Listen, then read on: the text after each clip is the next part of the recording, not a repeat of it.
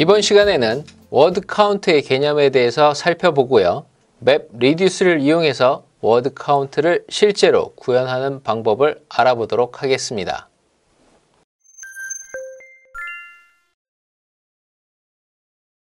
자, word count란 입력 파일의 텍스트 내용에 포함된 단어의 수를 세는 프로그램을 우리가 말합니다. 이것은 MapReduce의 입문용 프로그래밍 예제로 많이 활용이 되고요. Hadoop을 배우든 아니면 MongoDB의 MapReduce를 배우든 항상 저희가 제일 처음 만들어 보는 예제라고 할 수가 있습니다. 자, 단어를 세는 프로그램이기 때문에 여러분들이 기존에 사용하던 프로그래밍 언어나 개발 방법을 이용해서 동일하게 구현하는 것은 어렵지 않을 수 있습니다. 하지만 입력 파일 사이즈가 작을 경우에는 여러분들이 만든 프로그램이 더 빠를 수 있습니다. 그래서 우리가 기존에 그 사용하던 프로그램을 가지고 동일한 결과를 만들어낼 수는 있지만 여기서 중요한 것은 입력 파일의 크기가 크면 클수록 맵 리듀스로 구동시키는 프로그램이 더욱더 빠른 속도로 결과를 얻을 수 있다는 것을 이 word count를 이용해서 저희가 확인할 수 있습니다. 예를 들어 여러분들이 현재 임의로 만드는 word count 프로그램이 인풋으로 미국 국회의사당 도서관에 있는 모든 문장에 모든 문서에 모든 영문 텍스트를 인풋으로 받는다 라고 가정을 해보시면 과연 여러분들이 만든 프로그램이 언제 그 카운트를 다 할 수 있을지 아무도 예측하기가 힘들 것입니다. 하지만 이렇게 MapReduce를 이용해서 word count 프로그래밍을 하고 그 다음에 최대한 많은 서버를 클러스터로 구성을 해서 MapReduce를 수행시키면 우리가 예상하는 시간보다 훨씬 더 빠르게 이 결과를 만들어낼 수 있다. 이러한 아주 간단한 예제가 바로 word count라고 할 수 있습니다. 자, MapReduce는 함수형 프로그램이기 때문에 기본적으로 저희는 두 가지의 함수를 구현해주면 그 프로그램이 끝나게 됩니다. 그래서 구현해야 되는 함수의 이름은 당연히 map 함수와 reduce 함수. 이걸 합쳐서 우리가 MapReduce라고 부르는 것이고요. map 함수와 reduce 함수 모두 매개 변수를 받게 되어 있는데 map 함수는 일반 텍스트나 DB의 column 등을 인풋으로 받아서 중간 결과물을 만들어낸다고 했었습니다. 자, 이렇게 만들어진 중간 결과물을 특정 키로 모아져 있는 리스트를 이제 인풋으로 받는 reduce가 최종적인 key value 형태의 아웃풋을 만들어내는 것이 MapReduce라고 우리가 알고 있습니다. 자, 먼저 word count의 map 함수를 설계해 보면 자, map 함수 로 받는 것은 key value입니다. 자, 이때 우리가 넘어오는 것 중에 신경을 써야 하는 것은 바로 value인데요. 이 value로 무엇이 넘어오느냐? 바로 텍스트의 한 라인이 넘어오게 됩니다. 즉, 리드어북, 라이터북이라는 두 라인으로 되어 있는 input.txt 파일을 인풋으로 썼다 라고 한다면 그때에는 첫 번째 라인인 read a book이 먼저 map 함수에 들어오고요. 그것이 다 수행되고 결과가 넘어간 다음에 두 번째로 map 함수가 호출됐을 때 그 다음 줄인 write a book이 넘어오게 되어 있습니다. 그래서 자 하나의 문장이 들어왔을 때 이 value로 들어왔을 때 그 문장에서 단어를 하나씩 추출을 해서 for문을 돌면서 반복문을 돌면서 그 단어에 대해서 value를 1로 카운트를 해주는 것이죠. 자 그러면 이 map 함수를 수행하게 되면 read a book이라는 인풋이 들어왔다. value로. 그렇다면 스페이스 단위로 split을 한 다음에 각각의 단어에 대해서 1씩을 카운트를 해주는 겁니다. 자, 이렇게 1을 붙여주는 이유는 무엇이냐? 리듀스에서 결국 이 키 단위로, 키 단위로 이제 뒤에 있는 1이라는 숫자들을 쭉 인풋으로 배열로 받을 텐데, 리듀스에서는 그렇게 한 단어에 대해서 모여진 1들을 다 더해줌으로써 해당 단어가 그 인풋에서 몇 번 사용됐는지를 계산해낼 수 있기 때문입니다. 자, 그래서 이 map 함수는 단순하게 들어온 value에 대해서 split을 한 다음에 각각의 단어에 대해서 일씩 assign을 시켜주는 것 외에는 특별한 일을 하지 않습니다. 자, 이렇게 해서 이제 중간 결과들이 만들어지면 자, 이것을 인풋으로 받는 이제 reducer가 만들어지는데 이때 사용되는 reducer를 우리는 sum reducer라고 합니다. 왜냐하면 자, 키와 values로 넘어오는 이 values를 sum이라는 하나의 정수형 변수에다가 계속 누적을 시켜주는 역할만 수행하기 때문입니다. 그래서 sum이라는 변수를 하나 만들어 놓고 values, 즉 배열로 넘어오는 배열의 개수만큼 반복문을 돌면서 그 배열 안에 있는 value를 하나씩 꺼낸 다음에 그 value를 sum에 누적을 시키고 있죠. 자, 이렇게 해서 반복문을 다 돌고 나면 sum에는 그 배열 안에 있던 모든 값을 다 더한 값이 sum에 저장이 됩니다. 그렇게 저장된 것을 최종적으로 넘겨주는 거죠. 특정 키에 들어있던 밸류들을 다 합치니까 얼마다 이렇게 되는 거죠. 그럼 앞서 우리가 살펴봤던 맵 함수에서는 단어마다 1을 붙여놨기 때문에 자, 이 reducer를 거치고 나면 해당 단어에 몇 번이 쓰였는지를 저희가 손쉽게 알 수가 있게 되는 거죠. read 몇 번, a 몇 번, book 몇 번 이런 식으로 단어별로 몇 번 사용됐는지 카운트 되는 결과를 만들어낼 수가 있습니다. 자, 그래서 이와 같이 키로는 A가 들어오고 values로는 이렇게 배열이 들어온다 라고 했을 때 이 reducer를 돌리게 되면 하나하나 하나를 다 꺼내서 sum에 더해 줌으로 인해서 최종 결과는 A라는 키에 대해서 454라는 결과를 만들어내고요. 역시 B라는 키에 대해서 이런 식으로 values가 넘어온다. 그럼 12와 6과 마이너스 2를 더해서 최종적으로 16이라는 숫자를 만들어내게 됩니다. 그래서 자 word count를 할 때 map 함수는 우선 단어들을 split해서 일씩 붙여주는 역할만 했고요. 그 다음에 reduce는 그렇게 키워드별로 쪼개진 것들을 각각 이제 키워드 단위로 values를 받아서 그 values에 있는 일들을 다 더하면 결과적으로 해당 단어가 몇 번 쓰였는지를 카운트할 수 있는 그런 결과를 만들어낼 수 있는 것입니다. 자, word count의 전체적인 프로그램 로직을 다시 한번 정리해 보시면요. 자, map 함수와 reduce 함수. MapReduce는 항상 이 두 개의 함수를 저희가 구현해 주는 것으로 이제 시작합니다. 자, input 키와 value를 받는데 이때 이 value로 문장이 들어온다고 했습니다. read a book이라는 문장이 들어왔다 라고 한다면 자, 이 input value read a book이라는 단어를 이제 split을 하죠. 그래서 각각의 단어별로 split을 한 다음에 그 다음으로 넘겨줘라. 어떻게 단어를 키로 쓰고 value를 1로 assign을 해서 read 1, a 1, book 1과 같이 넘겨주라고 이제 map 함수가 설계되어 있고요. 그 다음에 reduce 함수는 특정 키에 대해서 몇 번 카운트가 됐는지 자 1, 1, 1, 1 이런 식으로 들어옵니다. 그래서 read가 뭐 11111 이렇게 나왔다라고 한다면 result라는 변수에다가 그 values의 배열의 개수만큼 반복을 하면서 계속 누적을 해주는 거죠.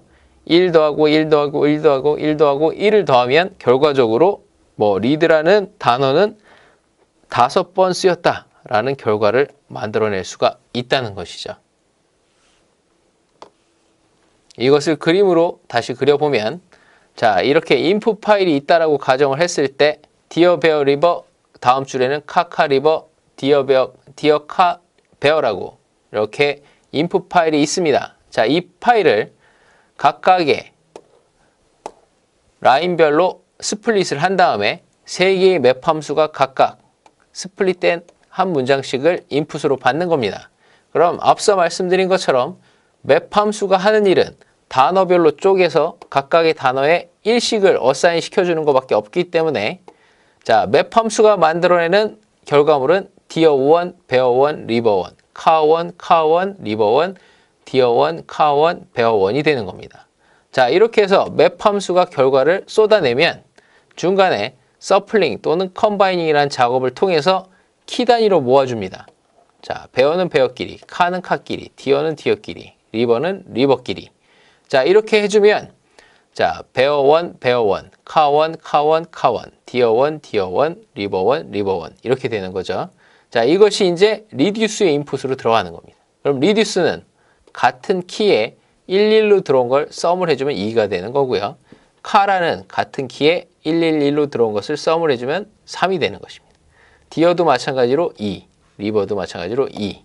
자, 이렇게 해서 최종 결과를 다 합치면 이 input에는 이 input에는 결과가 bear가 두 번 쓰였고 카가 세 번 쓰였고 deer가 두 번 쓰였고 river가 두 번 쓰였다라는 것을 알아낼 수 있는 것입니다.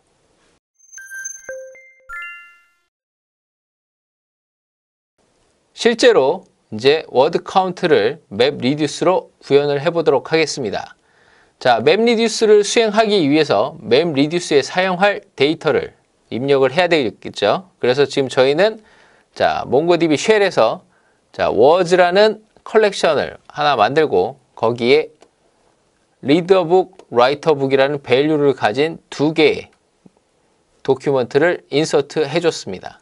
자, 이렇게 되면 이제 우리는 MapReduce를 이 words라는 컬렉션에서 수행을 해야 하는 상황이 발생하는 거죠.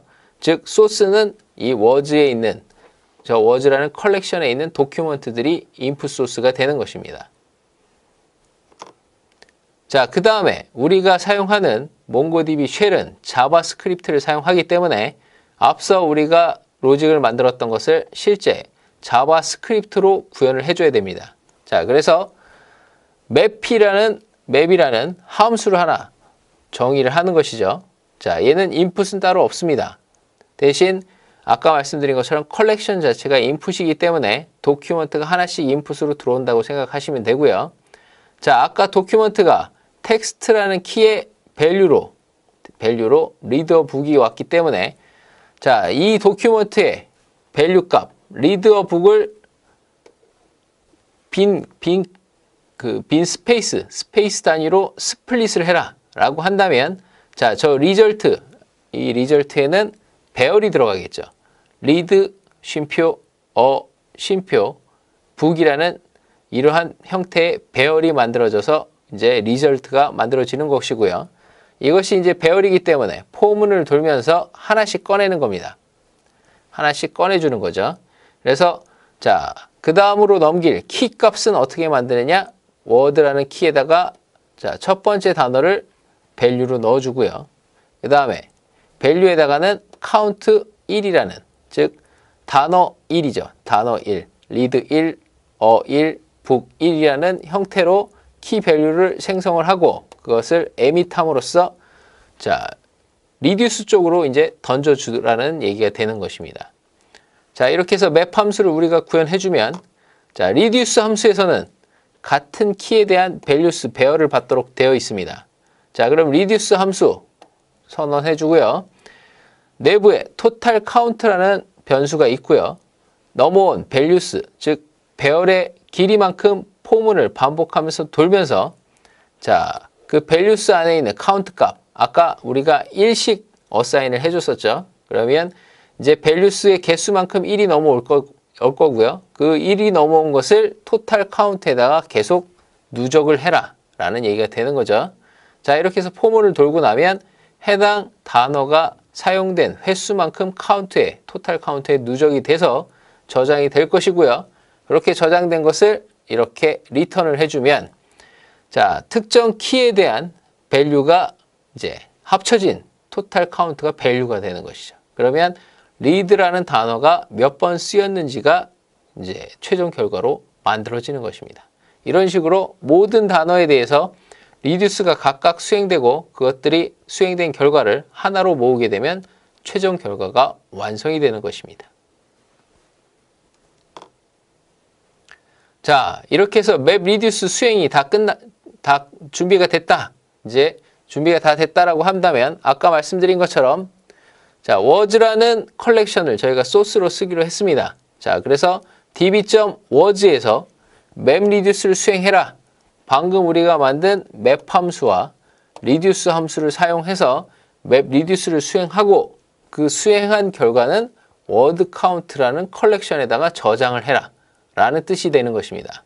자 이런 식으로 해주면 이제 워즈에 있는 컬렉션에 있는 document를 하나씩 꺼내서 map에다 저, 넣어주고요. 계속 map에다 넣어주면 map은 중간 결과를 만들어서 reduce 쪽으로 던져주게 되고 reduce가 최종 수행을 하게 되면 word count의 그 결과가 document 형태로 저장이 되는 것입니다. 자 이렇게 해서 word count라는 컬렉션에 최종 결과가 저장이 되면 그것을 확인하기 위해서 db.wordCount find all을 해주시면 이제 저 map reduce를 수행한 결과가 document로 나와서 출력해서 확인할 수 있을 것입니다. 자, map reduce를 직접 저희가 실습을 해보도록 하겠습니다.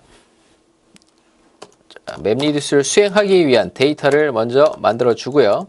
자, words라는 컬렉션에다가 document 두 개를 넣어 보겠습니다. 텍스트라는 키로 read a book이고요. 자, 첫 번째 document 입력했고 두 번째 document words에다가 세이브를 해라. 텍스트 자, write a book입니다. 자, 이렇게 해서 두 개의 document를 넣어 줬고요. 자, 첫 번째 함수 map 함수 function 그 다음에 입력된 document의 value를 이제 배열로 추출을 해야 되기 때문에 this라는 document의 포인터에다가 텍스트 키에 대한 밸류 값은 readbook 또는 writerbook이죠. 이것을 split해라. 무엇을 기준으로? 자, 이렇게 빈 칸을 기준으로. 그 다음에 for문을 돌아라. 자, i in result죠. 그 다음에 키를 생성을 하고 워드는 리절트의 i번째에 있는 단어를 문장을 문자를 사용하도록 하고 value는 count 1 이렇게 해주시면 자 키와 value가 준비가 됐고요. 이것을 reduce 함수로 전달을 해줘야 되니까 emit을 해줍니다. 키와 value를 그래서 포문을 닫아주고요. 그 다음에 함수를 닫아주면 맵 함수가 만들어졌습니다. 자, 이 상태에서 이제 reduce 함수 만들어 주겠습니다. reduce equal function. reduce는 매개 변수가 있는데 키와 values입니다. 자, 이렇게 키와 values를 넣어 주시고 내부에 total count라는 변수를 하나 만들어 주고 포문을 돌면서 바 i in values. 자, 이렇게 해서 values의 배열의 개수만큼을 for문을 돌아주고요. total count에다가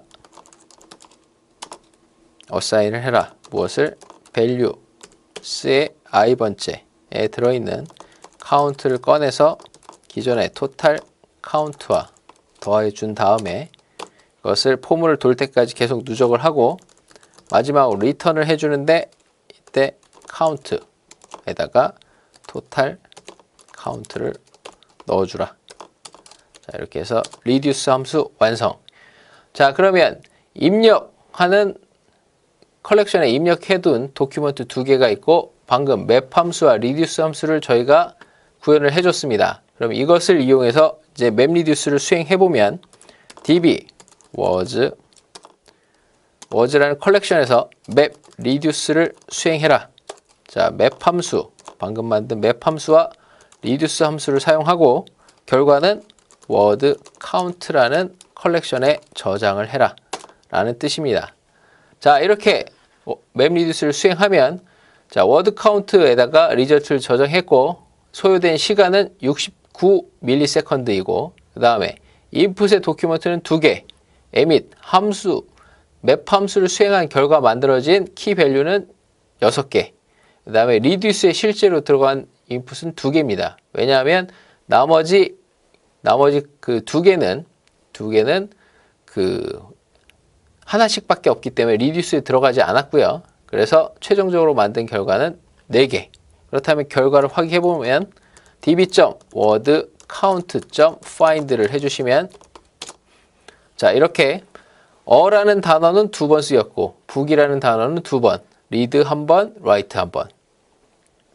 자, 이렇게 해서 저희가 word count를 map reduce를 이용해서 수행해 본 것을 확인해 보았습니다.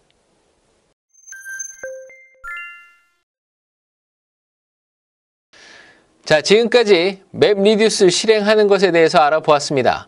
word count는 입력 파일의 텍스트 내용에 포함된 단어의 개수를 세는 프로그램을 말합니다. 입문용 map reduce 프로그래밍 예제로 많이 사용되고요. word count를 구현하는 방법은 먼저 map reduce를 수행하기 위한 데이터를 컬렉션에 입력을 하고 그 다음에 map 함수와 reduce 함수를 각각 정의한 다음에 해당 컬렉션에서 map reduce 명령을 실행한 다음에 실행 결과를 확인하시면 됩니다.